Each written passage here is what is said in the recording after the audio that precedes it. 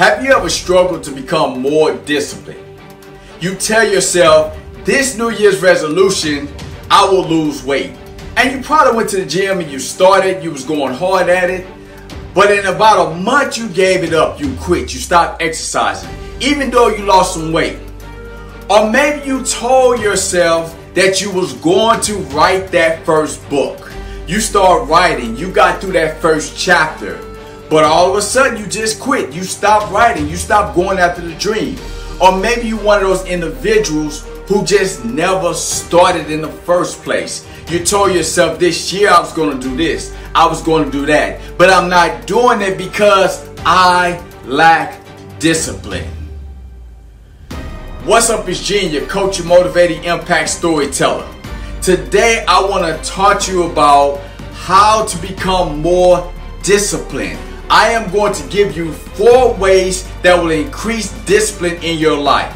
You see, if you want to realize a goal or dream, you must be self-disciplined. You have to take the initiative to make things happen. See, a lot of us right now, we are feeling stagnant. We're feeling stuck in our lives. We feel like that there's no dream that we can accomplish, and that's not true. The problem is you lack the discipline that's necessary that's going to allow you to realize your goals or dreams. See, the thing about self-discipline is you must be proactive. You must be conscious about actually doing the task that's going to move you towards your goals and dreams. So how do you become more disciplined so you can realize the goals and dreams of your life? Well, that's what I want to talk to you guys about. But before we do so, I want to ask you to hit that like button and share this video with somebody else that you know is lacking the discipline. So the first thing you have to do is you have to become comfortable with a new habit of planning your own day. See, a lot of us, we just go with the motions. We get up every day. We have no plan. We don't do anything that's going to help us to move towards our goals and dreams. And then we wonder why we're so frustrated. So you must become focused on planning your day. You see, self-discipline is all about doing the things you say you was going to do. As a matter of fact, my personal definition of self-discipline is this doing the productive task that you said you was going to do despite how you feel that's going to lead to your success. So getting in the habit of planning your day is so important because when you're an individual that plan your own day, you know the things you need to get done, then that allows you to grab hold of your own destiny so you can move forward towards the goals or dreams that you desire. You see, when I first wanted to start learning how to shoot video, I had to start to plan my day. You see, areas that I was lacking in is that every day I would tell myself I'm to start shooting video, but I never planned on shooting video. I never planned on making it happen. So therefore I went day after day, week after week, month after month, year after year, and I didn't shoot any videos. But when I start to plan my day, that's when things start to happen in my life. So number two, you have to start tearing excuses out of your life instead of building on top of the excuses you're already making. You see, when I was trying to start these videos, I had so many excuses that were holding me back. I was telling myself I don't have a camera. Uh, I never spoke on camera. I don't know what to say.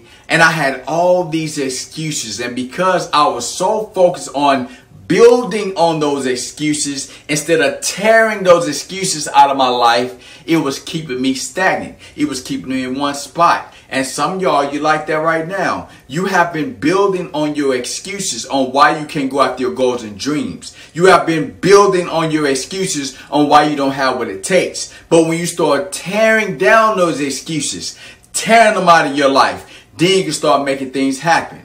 So the way I start tearing excuses out of my life or when it pertains to video, I start telling myself, Gene, you have a cell phone. All you have to do is get your phone. It has a camera on there that's just as good as a camera that you get on a camcorder.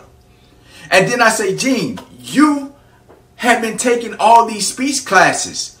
All you have to do is practice talking on your at your phone the way you talk to people. And the more you do it, the better you will get.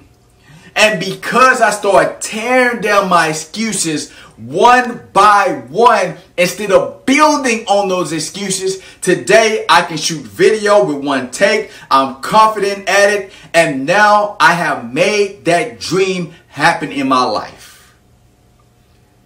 And the third thing that you must do is you have to sign a shift to your dream or goal task just like your job assign a shift for you to be at work. You see, when you assign a shift to work on your goals and dreams, when you assign a shift that you're going to work on those tasks that's going to allow that goal or dream to become a reality, then you have times in your day when you are proactive and you are executing discipline to make those dreams and goals happen in your life. See, it always amazed me how so many of us, we allow others to assign our time to something. Your job tells you to be at this the job at this time and you show up. Your friends tell you to be at the movies at this time and you show up. But when it comes to assigning, you know, time to your own task, so you can realize those goals and dreams of your heart, you don't do it. So you have to assign a shift to your goal and dream task that you will work on them just like your job assigned a shift for you to be at work. And the fourth thing is to have accountability too. You see, one thing that I've done in my life that has helped me tremendously is by having an accountability tool. And what I like to use is boards.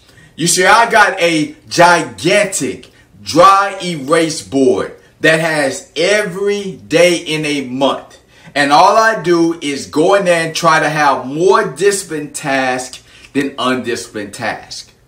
You see, when you have accountability tool, you can actually see your progress. You can see the things you're doing. But if you don't have accountability tool, if you don't have a way to see your progress, a way to hold yourself accountable, then you'll let yourself off the hook. Then you'll say to yourself, you know, today I'm going to do this, but you don't get it done, right? That's what you've been doing right now, huh? Today I'm going to do that and you don't get it done because you don't have accountability tool. You don't have something that you can look at that you can see when you are progressing or you're not progressing. See, if you can look at the disciplined days you have in your life versus the undisciplined days, what's going to happen is you're going to have to face yourself in the mirror. You're going to have a self-awareness moment. You're going to realize that, man, these days are not getting done. These tasks are not getting done. And that's what my dream is not happening. That's what my goal is not happening. But I promise you, if you put up an accountability tool that you can see your disciplined days versus your undisciplined days, and you start competing against yourself, nobody else, to be able to go out and be the most disciplined person you can possibly be. You can start executing that self-discipline. What's going to happen is this. You're going to have you're going to start having results in your life. The more you start having those discipline days, you start to build self-confidence. The more you start having those self-discipline days, you will feel more motivated. So I want to encourage you to have an accountability accountability tool in place so you can see your progress. Because the more you see your progress, the more you'll start to grow and the closer you'll start to get to realizing that goal or dream in your life. So these are the four ways that you can become more disciplined. Now, if you're somebody and you're really struggling with your discipline, I want to ask you to join my free program, 30 Days of Self-Discipline. See, 30 Days of Self-Discipline, you'll have three tasks, and I'll try to make them very simple so you can start to build on them slowly. The tasks include this. You will read at least 20 minutes a day or listen to a podcast or audiobook. You will select a diet of your choice and you will exercise for a minimum of 5 minutes to 30 minutes a day. So if you would like to help in building your self-discipline, I want to ask you to click the link below, join my newsletter. You will get a free copy of my ebook 30 Days of Self Discipline that lays out the instructions on exactly what you're going to do. It'll allow you to be able to stay in contact with me. It'll allow you to see the posts that I make because, in order for you to start to build your self discipline, you have to start getting comfortable executing it in your life. So, join 30 Days of Self Discipline so you can start de- developing the self-discipline that's going to allow you to realize your goals and dreams because you my friend are worthy to be great